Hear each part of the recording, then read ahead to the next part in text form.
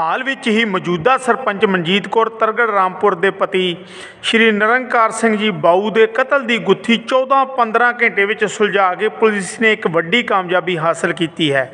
ਗੌਰਤਲਬ ਹੈ ਕਿ ਪੁਰਾਣੀ ਜ਼ਮੀਨੀ ਝਗੜੇ ਦੀ ਰੰਜਿਸ਼ ਕਰਕੇ ਨਿਰੰਕਾਰ ਦਾ ਕਤਲ ਹੋਇਆ ਹੈ। ਸਰਦਾਰ ਯੋਗੇਸ਼ਵਰ ਸਿੰਘ ਗੁਰਾਇਆ ਡੀਐਸਪੀ ਮਜੀਠਾ ਵੱਲੋਂ ਮਿਲੀ ਜਾਣਕਾਰੀ ਅਨੁਸਾਰ ਗੁਰ, ਗੁਰਕੀਰਤ ਸਿੰਘ ਪੁੱਤਰ ਸੁਖਸੈਨ ਸਿੰਘ ਤਰਗੜ ਗੁਰਪ੍ਰੀਤ ਸਿੰਘ ਪੁੱਤਰ ਬਲਦੇਵ ਸਿੰਘ ਤਰਗੜ, ਸ਼ਮਸ਼ੇਰ ਸਿੰਘ ਪੁੱਤਰ ਬਲਦੇਵ ਸਿੰਘ ਤਰਗੜ ਅਤੇ ਦਲੇਰ ਸਿੰਘ ਪੁੱਤਰ ਲਖਵਿੰਦਰ ਸਿੰਘ ਵੇਗੇਵਾਲ, ਚਾਰੋਂ ਦੋਸ਼ੀਆਂ ਖਿਲਾਫ ਮੁਕੱਦਮਾ ਨੰਬਰ 99 ਮਿਤੀ 28/4/2020 ਜੁਰਮ 302